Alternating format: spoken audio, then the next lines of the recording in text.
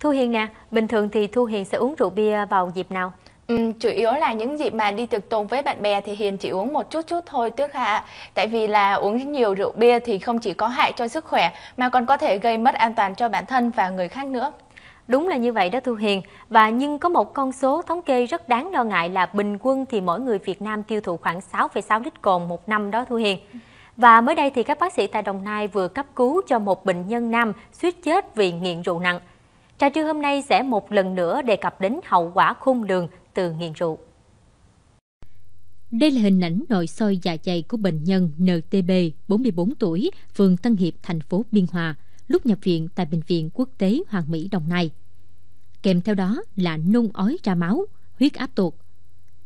Máu phun thành tia, dạ dày chứa đến khoảng 2 lít máu.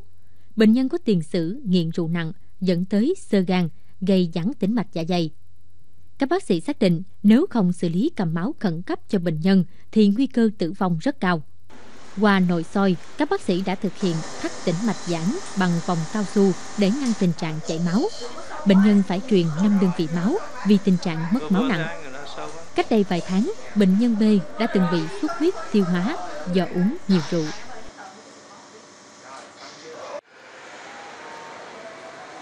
Dạ thưa bác sĩ Nguyễn Thanh Trọng Nhân, trường hợp mà bị xuất huyết dạ dày như chúng ta đã thấy thì à, chỉ là một trong rất là nhiều tác hại mà rượu bia gây ra.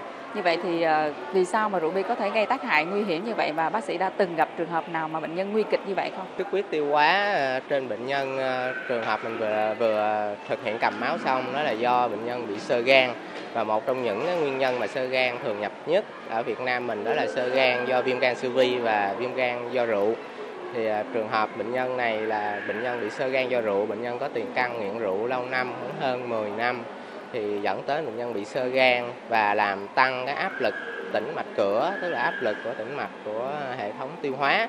Và khi mà áp lực nó tăng đến một mức quá cao thì sẽ gây ra vỡ các cái mạch máu và gây ra xuất huyết thì đây là một trong những cái biến chứng rất là nguy hiểm và nguy cơ tử vong có thể à, lên đến 20 hoặc 30 phần trăm đối với mỗi một lần xuất huyết như vậy. Khi mà mình uống rượu lâu ngày thì cái rượu đó nó lại sẽ gây ra cái viêm gan do rượu, viêm gan mãn tính. Thì khi viêm gan này tiến triển qua từng năm thì đó là một cái quá trình không hồi phục.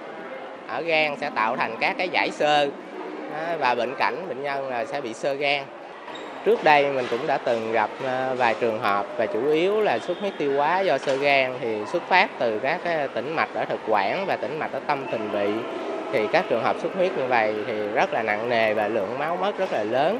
Thì mình phải ờ, đối với bác sĩ ờ, nội soi hoặc là bác sĩ cấp cứu thì cái yêu cầu cần thiết ừ, hàng đầu đó là phải cầm máu tức thời cho bệnh nhân để làm giảm cái lượng máu mất thì mới cứu sống được bệnh nhân.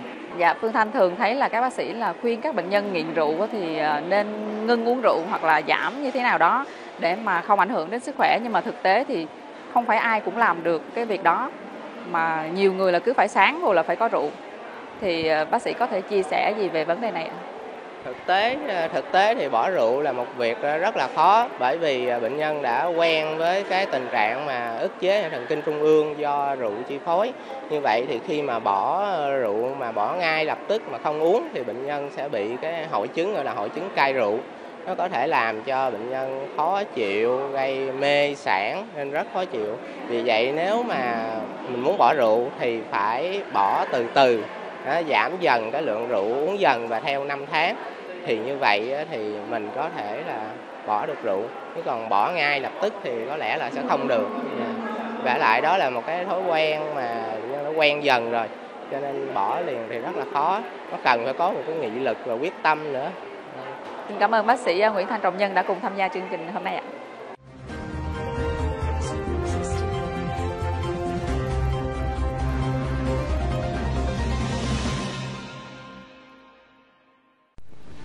Đây là những hình ảnh được ghi lại ở tuyến đường Đồng Khởi, thành phố Biên Hòa.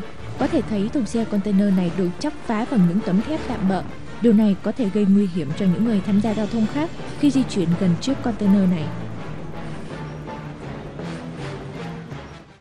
Những hình ảnh do camera chưa ghi nhận được vừa rồi cũng đã khép lại chương trình online cùng DNRTV trưa nay.